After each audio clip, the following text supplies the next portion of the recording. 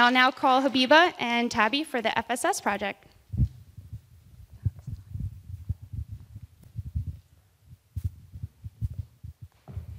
Hi, good evening, everyone. Uh, I'm Habeeba, and this is Tabby. We are going to present the Family Support Services project. But before we dive deep into the project, I have a small question for all of you. Well, please raise your hand if you know about the Florida Statute, Chapter 39 on proceedings relating to children. Okay, that's quite a lot of people. Thank you. For those of you who don't, under Florida law, every resident is a mandatory reporter, mandatory reporter of child abuse, neglect, or abandonment. In a recent study conducted by US Department of Health and Well-being, uh, it, it, was, it was observed that children who are maltreated are nine times more likely to be involved in criminal activity, 25 times more likely to experience teen pregnancy. Due to such adverse effects and long-lasting effects, uh, we have systems in place that address these issues. In Florida, particularly, once a child is potentially identified as being maltreated, abused, abandoned, or neglected, it's referred to the Florida Department of Children and Families. In the year 2016 and 17, about 202,000 calls were forwarded. About 277,000 uh, investigations were made, and it was found out that for about 21,000 cases, DCF intervention was required. Particularly in Duval and Nassau counties, these cases are referred to Family Support Services of North Florida. Family Support Services vision is to ensure that children is to ensure that children grow up within their own family, supported by their community, so that they are able to achieve their goals and be productive citizens. Its mission is to be leader in providing safety, safety and stability for all children by working with community partners in all providing, in all keeping the children safe. In, uh, in working towards its goal, it works uh, with five strategic units. The first one being preservation. In the preservation unit, the child is kept within the family, and the family is supported with a host of services to ensure that the child has a safe and stable environment. One of the clients from the preservation unit, Caroline, she says, it was the wake-up call that I needed. In case of a situation where the child is not, uh, cannot be kept with the parents. It is uh, moved on to its immediate relatives or family, family members and is passed on to the kinship care unit. Foster care is a temporary solution which provides um, child with foster families that ensure the child's emotional, uh, emotional and uh, safe, provide for a safe and uh, safe physical and emotional environment. Adoption is a more of a permanent solution where children are adopted. Uh, in Duval and Nassau counties, there are about 1,500 children waiting to be adopted. The independent living, uh, this offers services for teens and youth who are uh, beginning to, um, who are moving towards adulthood and are looking forward to life after foster care. I'm going to talk a little about the child welfare process now.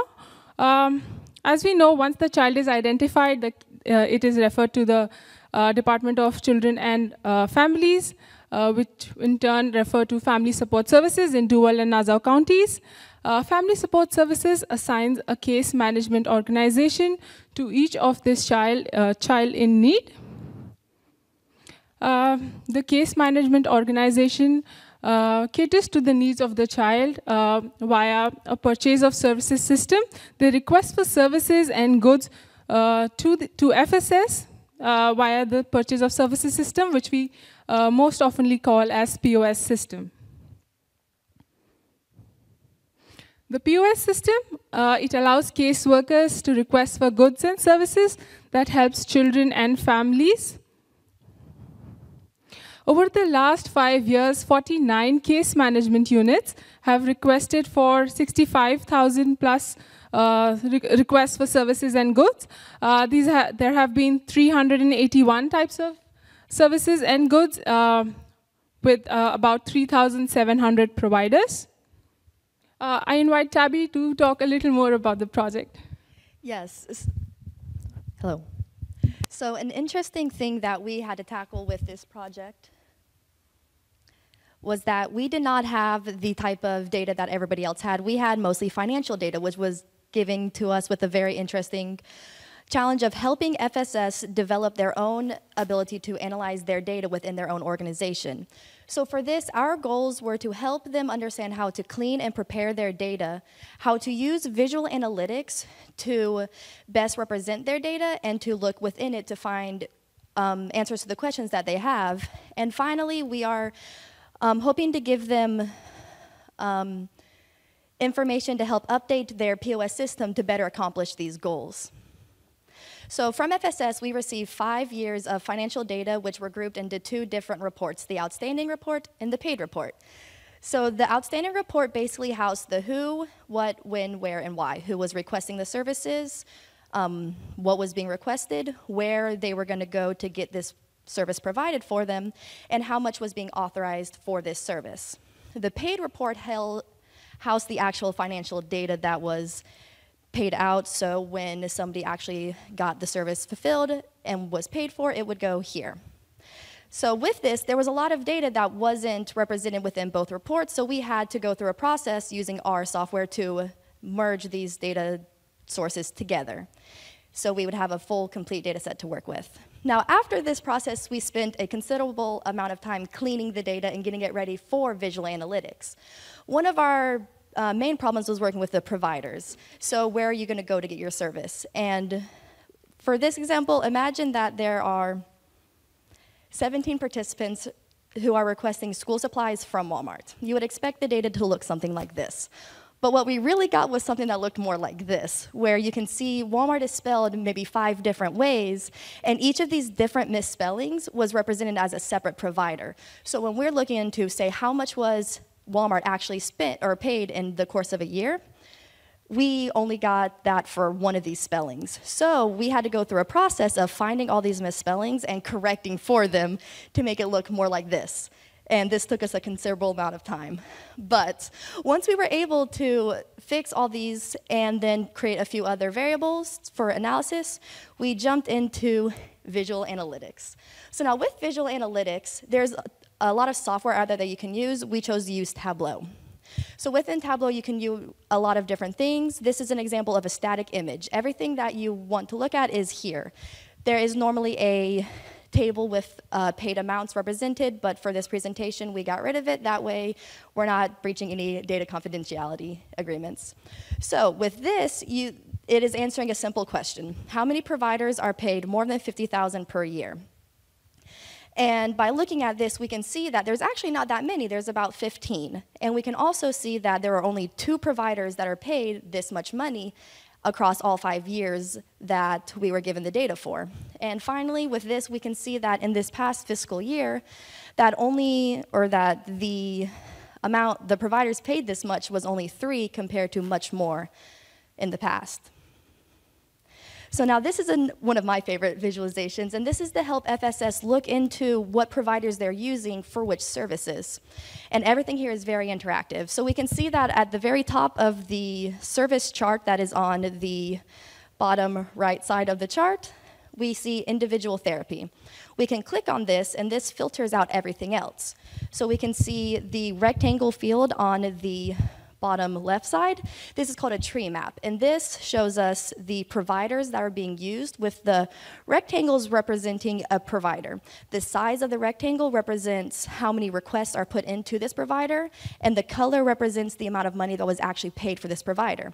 So for individual therapy, we can see that there are a number of providers that service this type of request. We can also see that community behavioral is the most requested and gets paid the most for individual therapy information. This is something that FSS can use to really go into their services. We can also see that this top banner of colorful squares at the top, you can use this to look into each individual case management organization. So let's say we want to look into Daniel and see what who's providing their services and what services are they requesting. And we can see here that they're using quite a number of providers and that um, First Coast Behavioral is requested a lot and is paid a lot, and the same with Jacksonville Transportation, which, if we remember the prior chart, were also top providers for all five years. And finally, we move on to these are called packed dot plots. We like to call them sunflowers because that's more fun, and this is Florida. So, what this is giving us the ability to do is to show multiple variables in one view. So, this is um, each large sunflower is a fiscal year. Each small dot represents a request that was put into FSS. The size of the dot represents how much money was paid for that request, and the color represents the case management organization that serviced that request. And with this, we can see that some things changed from the 2016 and 17 fiscal year to the 2017 18 fiscal year. We can see that Jewish Family Community Service made the most requests in the 2016-17 year and also had a large amount of these big ticket items that we can see clustered in the middle of the first sunflower. Moving on to the next year, that they've actually moved to requesting less services and less of these larger items, and it's now Daniel that requests the most services. So this is something that may not have been able to be visualized before because there's so many variables in play. So these are only a few of the visualizations and dashboards that we put together for FSS. And they were able to help us come up with an array of recommendations for them. So some recommendations is building on the fact that FSS should develop their own internal process for visual analytics. That way they can make these informed decisions that they're hoping to make and be able to really understand what their data is telling them. One of our main things that we focus on is providing them with reports to help them accomplish this goal. So reports on how we built our dashboards, on how they can clean their data. Another thing that we recommend is that they can rework their POS system in very small ways to better accommodate the visual analytics, such as adding a autofill function to their provider's Dropbox or um, column when in the POS system. So when a caseworker goes in to request a service from Walmart, Walmart pops up when they start typing it in. It will severely limit the amount of misspellings that they would receive and have to then go through and clean. And finally, we recommend that FSS share their information that they think is um, pertinent with their CMOs, that way their CMOs can use this information to make better um, decision making about where to receive their services from.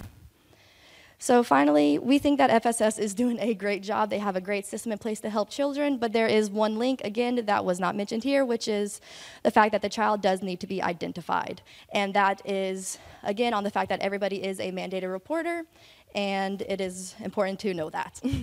Thank you so much for listening to our presentations.